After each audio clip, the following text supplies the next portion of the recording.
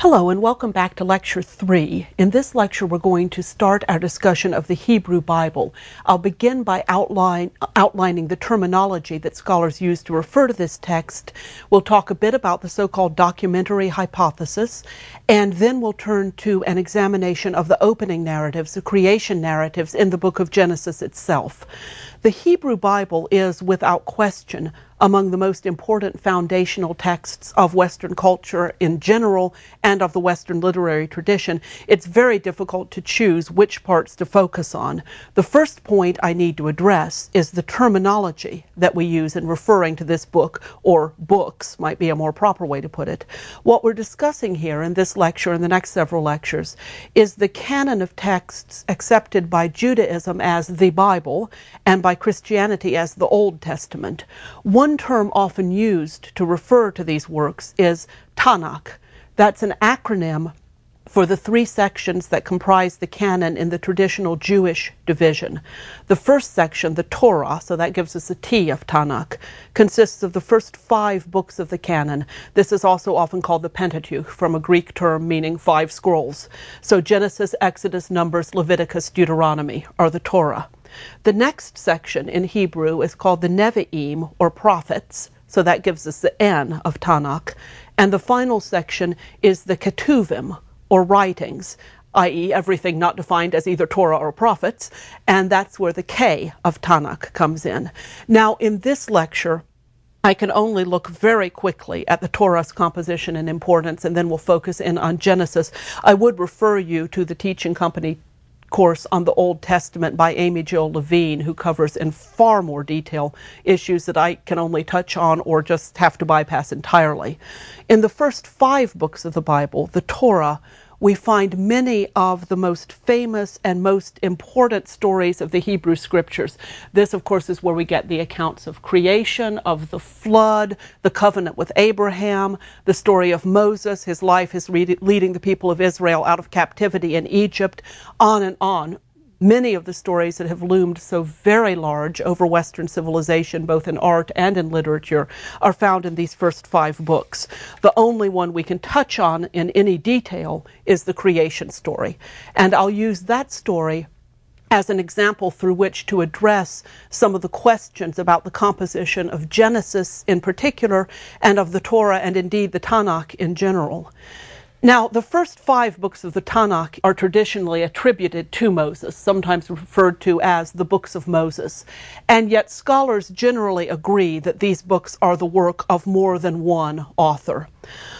Among the clearest indications of multiple authorship are the following The Pentateuch, or the Torah, shows variations in its ways of referring to God.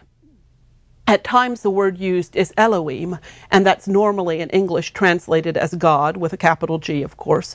At other times, the word used in Torah to indicate the deity is the four letters YHWH, often vocalized as Yahweh and usually in traditional English translation translated as the Lord in small capital letters. If you can picture an English text of the Bible in your mind, you'll know that what I mean by the Lord in slightly smaller capital letters. So that's one indication of multiple authorship, these two ways of referring to God, Elohim or Yahweh. There are also variations in vocabulary and style. Now, I have to admit that I myself do not read Hebrew, so I'm having to take other scholars' word for this. But there are apparently variations in vocabulary and style in the writing that indicates writing at different times and by different authors. There are also con- contrasting perspectives Sometimes we get different versions of the same story. I'll come back to that in my discussion of Genesis. And sort of the equal and opposite of that, material is duplicated. You'll get the same story told about different characters, the same story told with or without variation in two different places. All of these and many, many other such things are seen as evidence by scholars that the Torah was written by more than one author at more than one time.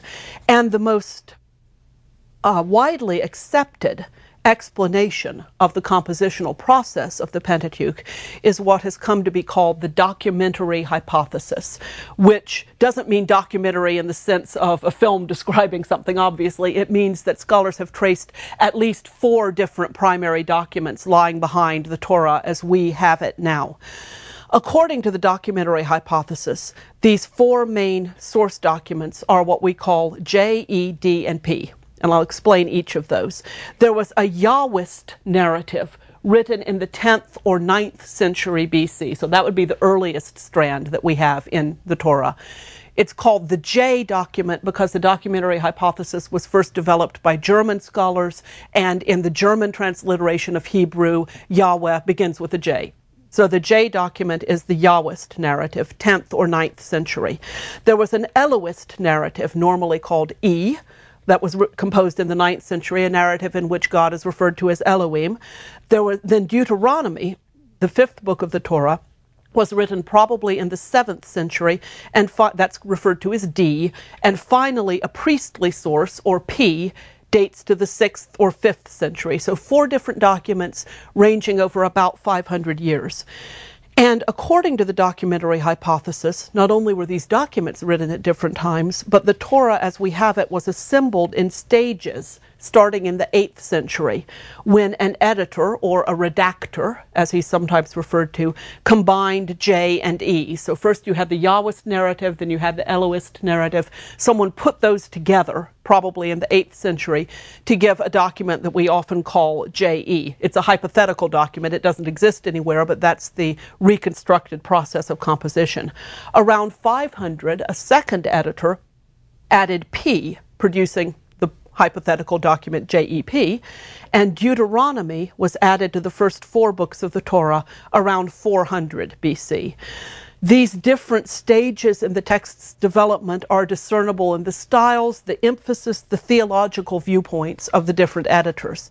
And to take what I find the most fascinating example of the different voices detectable in the Torah, I want to consider the creation stories as recounted in Genesis. The Yahwist narrative, that is the earliest strand of the creation story, runs from Genesis chapter 2, verse 4b, through Genesis chapter 3, verse 24. According to this narrative, the Lord, Yahweh, created man in the sense of male human being from the dust before there were plants yet on the earth. And after creating Adam, a word that just means man in Hebrew, the Lord planted a garden and placed the man in it. The Lord then made plants grow, told Adam to till the garden, and gave him instructions about which plants he was allowed to eat. The man was prohibited from eating from the tree of the knowledge of good and evil.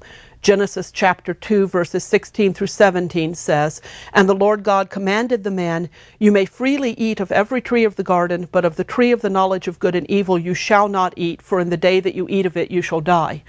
The Lord then decided that the man needed a companion. And first, the Lord made all the animals and brought them to the man, and the man named them, but apparently looked at each one and said, Well, that's an elephant, but it's not my appropriate companion. That one over there is a kangaroo, but no, that won't work either. There's a zebra. No, that's not a companion for me. So the man named all the animals. Genesis chapter 2, verse 20 says, The man gave names to all cattle, and to the birds of the air, and to every animal of the field. But for the man there was not found a helper as his partner. By the way, I'm using the Revised Standard Edition when I read quotations from the Bible in this course. Next, the Lord cast the man into a deep sleep, removed a rib from his body, and created a woman as a companion for the man. And of course, next, the serpent persuaded the woman to eat the fruit of the forbidden tree. She, in turn, persuaded her husband to eat as well. And this violation of the Lord's prohibition on eating from that tree led to Adam and Eve's expulsion from the original paradise, the Garden of Eden.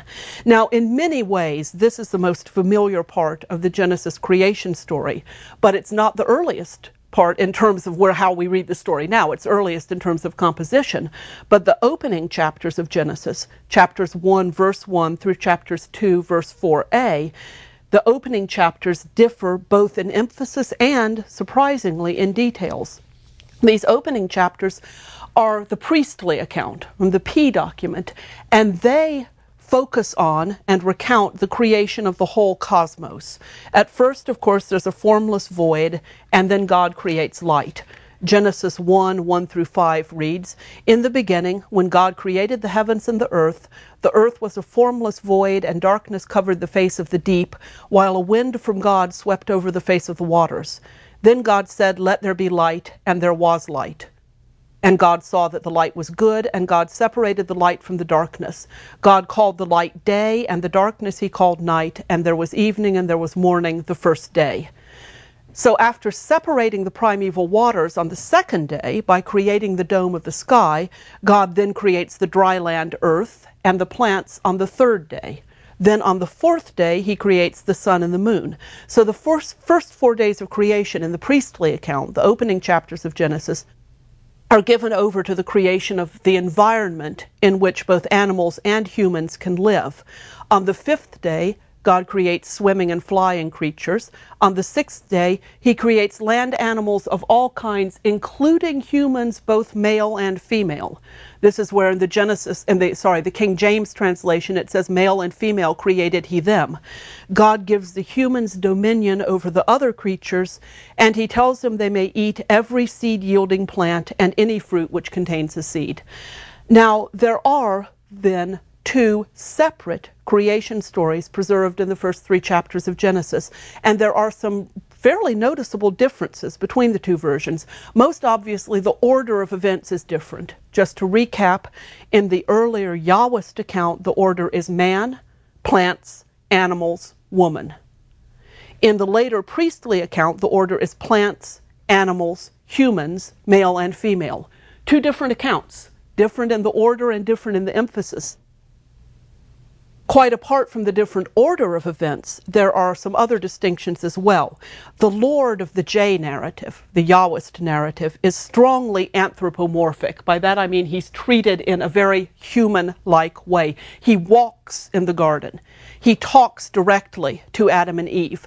After Adam and Eve have eaten the fruit of the tree of the knowledge of good and evil, God goes looking for them and asks Adam, Where are you? asks him, Who told you you were naked? He talks directly to Adam and to Eve.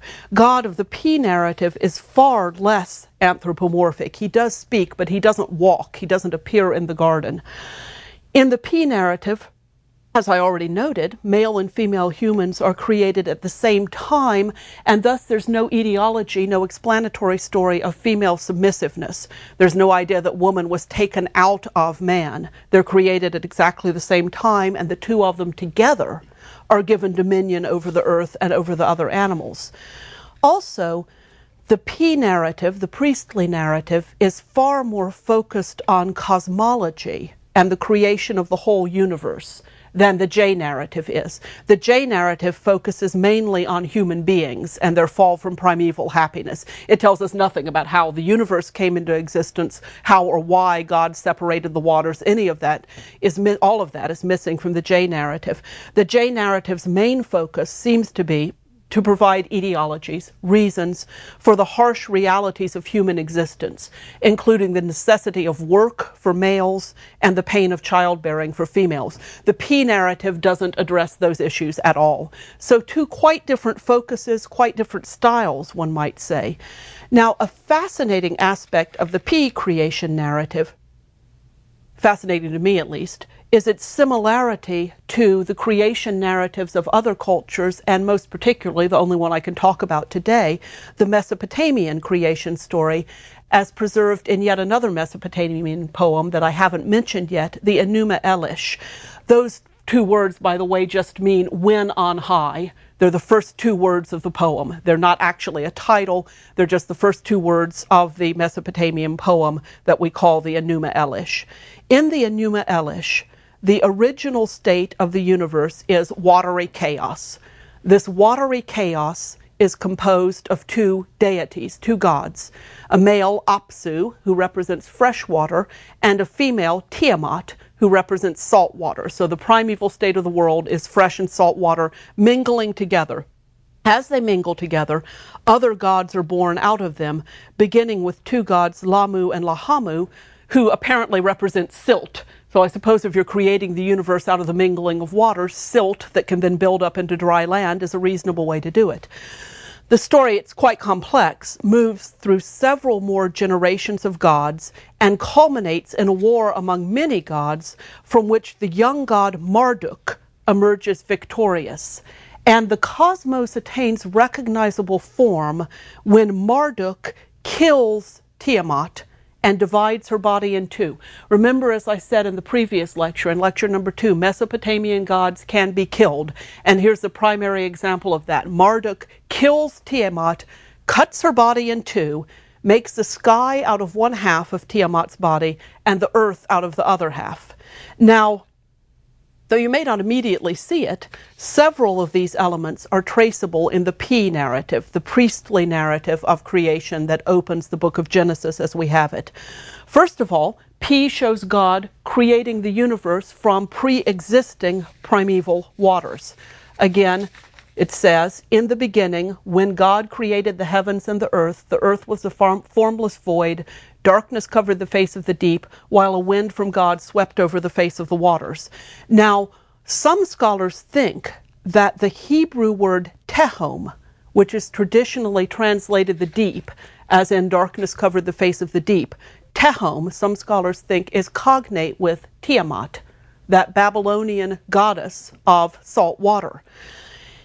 If that's true, if those words are actually linguistically, etymologically related to one another, then one way of looking at this is to say that God's control over the deep, God's control of Tehom, parallels Marduk's control of Tiamat. Even if the words are not linguistically related, even if Tehom and Tiamat are not, if you trace it far enough back, the same word, God's division of the waters through creating a dome, i.e., the sky, pretty clearly echoes the cleaving of Tiamat's body of water to form earth and sky. In fact, this ex- explains a verse that I always found utterly incomprehensible in Sunday school as a child. Genesis 1, verses 6 through 8. God said, Let there be a dome in the midst of the waters, and let it separate the waters from the waters. So God made the dome and separated the waters that were under the dome from the waters that were above the dome. And it was so. God called the dome sky. I never could figure out what was going on with that. What does it mean, the waters that are below the dome and the waters that are above the dome? And of course, the King James translation, firmament, just made things even more confusing. But this seems to reflect the same basic idea that the prime, primeval substance of the universe is water and that somehow that water is divided to create first the sky and then later the earth. Now, these are, I think, some fascinating parallels, but there are also very, very important ways in which the P narrative differs from the Enuma Elish. Both narratives, as I've been saying, seem to assume a pre existing watery void, which is then formed in some way or another into the recognizable universe. But in the Enuma Elish, that void is itself two deities, Apsu and Tiamat, and they bring forth other gods through a kind of sexualized reproduction. In the P narrative, the world only comes into shape through God's direct intervention, not through the material that's there somehow mingling with itself and bringing forth more material, but through God doing something to the material. Now, this is true even if we accept the view of some scholars that the first words of Genesis should not be translated in the beginning God created heavens and earth, or even in the beginning when God created, but something more like when God began to create, the earth was a formless void, which would seem to imply the formless void was already there and God came to work on it even if we don't accept that slightly more drastic translation, the P narrative posits that the original state of the universe, however it got there, was watery chaos. And it affirms that it required the creative agency of God to bring the universe out of that state. So, very unlike the polytheistic view, where the gods themselves are the universe. They mate with one another and bring the further elements of the universe into existence. That's a primary difference in the two texts. Also, in the Enuma Elish, the progress of the world from chaos into its present shape takes an unspecified length of time and relies on conflict between a plurality of gods. The whole process in the Enuma Elish is extremely violent and conflict ridden. And finally, when the dust settles, Marduk, a young god, is victorious and becomes the ruler of the rest of the gods. The P narrative, in contrast, stresses over and over again the essential orderliness of the process of creation. The scholar Robert Alter, an Old Testament Hebrew Bible scholar, points out that this orderliness is achieved through a series of balanced opposites. He says, and I'm quoting here, P actually builds his picture of creation by showing how God splits off the realm of earth from the realm of heaven, sets luminaries in the heavens to shine on the earth, creates the birds of the heavens above together with the swarming things of the seas below. Darkness and light, night and day, evening and morning, water and sky, sun and moon, grass and trees, beast of the field and creeping thing of the earth, human male and female. Each moment of creation is conceived as a balancing of opposites or a bifurcation producing difference in some particular category of existence, close quote. So where the Enuma Elish shows conflict, uh, chaos, fighting, and finally one God emerging victorious, the P narrative shows God imposing orderliness in this series of bifurcations, as Robert Alter puts it. Now, it's perhaps not too fanciful to think that the author or authors of P may have written in intentional contrast to the Enuma Elish. I say that because P is normally dated to the period around or right after the Babylonian exile of the Jews. And let me stress that the Babylonian exile of the Jews. The Jewish people were held in captivity in Babylon from 586 to 538 BC. That's about the time, the end of that is about the time when we think P was written. Now, that's a good two generations of human beings who maintained their identity as Jews but grew up in Babylon, were captive in Babylon itself. In this context, a creation story reworking the Babylonian material into a form consonant with Jewish belief would make very good sense as a kind of reaffirmation of Jewish identity. You've heard the Enuma Elish, you've heard the creation story of our Babylonian conquerors, but no, that's not how it worked. It went this way instead. This is how Yahweh or Elohim, our God, created the world. If this is correct, then the, the P story about the human, about the creation of humans, can also be read in contrast to the Mesopotamian version of the creation of humans in the Atrahasis, that Mesopotamian creation of humans story that I mentioned in the last lecture. The Enuma Elish talks about the creation of the universe. Atrahasis talks about the creation of humans. And you'll remember in the Atrahasis, humans were created to work for the gods, to take over the labor of the universe from the gods. In Genesis, in the P version, well, for that matter, in the J version as well, but particularly in the P version, humans are presented as the culmination of creation, and they're created, I think it's quite implicit in the text, as a good thing in and of themselves. They're not created to work for God, they're not created to fo- perform some sort of function that God doesn't want to perform himself. They're created in and of their own right. So that's an very quick run through, very quick indication in Genesis of how the documentary hypothesis works, why we think, why scholars think that this text was written in several different versions at several different times, and also, I hope, of how understanding that can shed some interpretive light on what we do with the text itself. But the documentary hypothesis covers not only Genesis, but the rest of the Torah as well. Scholars have traced these four different source documents throughout the first five books of the Bible. And sometimes, for instance, in the flood narrative, they're connected in much more complex ways than they are in the creation stories of Genesis. In Genesis, we have first pretty clearly P and only P. Then we have pretty clearly J and only J. They aren't interleaved with one another. In the flood narrative, however, the narratives of P and probably J are interwoven with one another to form one coherent story, but traces remain of two different original versions.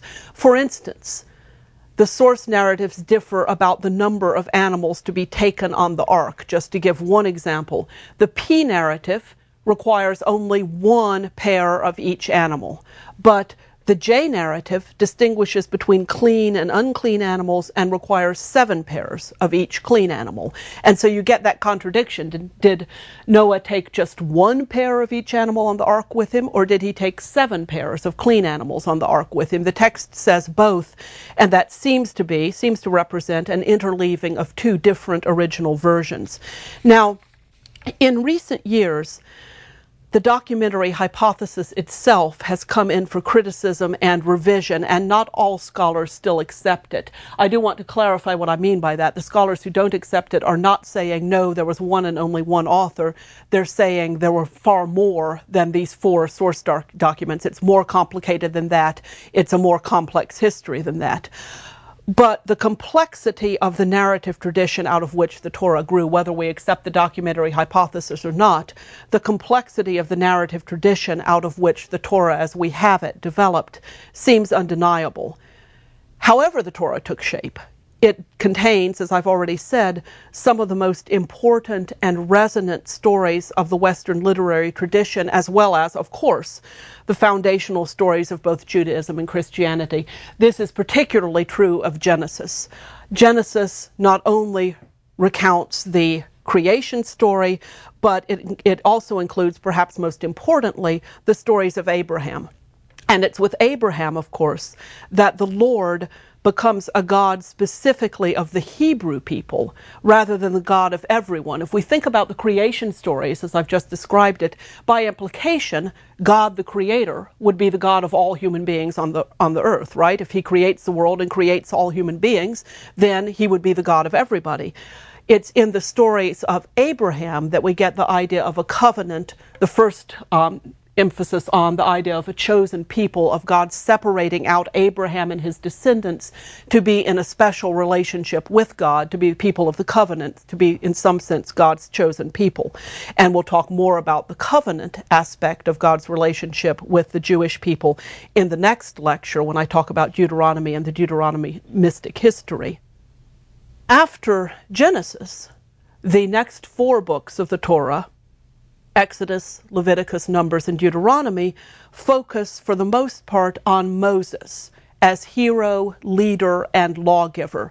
Tradition dates Moses to the 13th century BC, and so while these books are called the five books of Moses are traditionally ascribed to his authorship. If the documentary hypothesis is in any form at all correct, then Moses cannot have been the author of the Torah, though of course it's always possible that the Torah as we have it, particularly the earliest, the Yahwist narratives, might preserve some of Moses' own writings or own words. But he lived in the 13th century, which is a good 300 years before the earliest written parts of the Torah, at least what we think are the earliest written parts of the Torah. His story, of course, contains a great many notable points. His importance is marked by the narrative of his heroic birth and childhood, the attempt for him to be killed when he was a, an infant thwarted by his mother concealing him by putting him in the basket on the river, his rescue by Pharaoh's daughter, his growing up without knowing who he is and then reclaiming his heritage. All of those things mark him out as extremely important, as central in the text. He's also marked out by receiving theophanies, that is, direct visions of God. Uh, God appears to him, of course, in the burning bush. God speaks to Moses when he gives Moses the Ten Commandments. So Moses has a direct conversational, one could almost say, relationship with God, which marks him out as extremely important. Interestingly, and this applies to many of the other patriarchs in the Torah as well, Moses is at first unwilling to accept the task required of him when God first picks him out, Moses says, You don't really want me. Couldn't you take my brother instead? But he is, nevertheless, eventually he does accept the task that's put upon him. And he is, of course, the recipient and spokesman of the Ten Commandments. He's also the leader of the Israelites in their flight from Egypt, the person who leads the Jewish people out of captivity in Egypt. Perhaps the most haunting detail of Moses' story is that he leads his people within sight of the promised land, but he cannot reach it himself. He can only look over and see the promised land. He can't get there himself. Now, this strong narrative focus on Moses in the Torah probably led to the assumption that Moses himself had written the Torah. Although there were always problems with that assumption. For instance, his death is narrated and how could Moses himself write the story narrating his own death? But as I've said, modern scholarship assumes that Moses could not possibly have been the author of the Torah, but his figure looms so large that if we think of the words, the books of Moses, if we think of of Moses not meaning authorship, but meaning the books about Moses, then I think we can still fairly refer to the Torah as the five books of Moses. So in this lecture, we've started looking at the Hebrew Bible by talking about the terminology, the documentary hypothesis and looking in some detail at the creation stories in Genesis. In our next lecture, we'll continue our discussion of Torah by looking at Deuteronomy and the so called Deuteron- Deuteronomistic history.